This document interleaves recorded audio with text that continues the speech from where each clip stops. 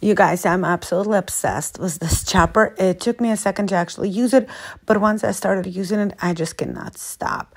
You can use this to make salad and just chop vegetables finely, or you can use it to make guacamole, which is what I am doing here. So basically, you can puree your vegetables if you like. It is so easy. Just clean your vegetables, then cut them in rather large pieces, and then just put them in the chopper, cover it up, and then pool.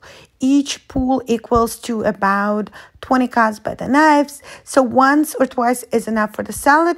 But if you wanted to puree it like I did, you know, it will take a little bit more, but still it comes out so perfect, such a smooth, nice guacamole in just seconds. It would make me forever to do this by hand. So this thing is super helpful at kitchen and it fits about two cups.